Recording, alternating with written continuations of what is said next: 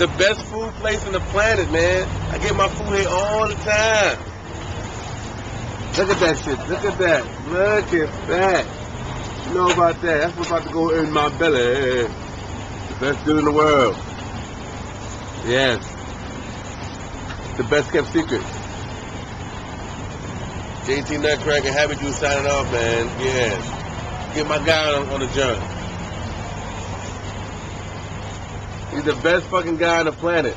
You know why? Because he's from the same country, continent. Yeah. Uh huh. Morocco in the house, huh?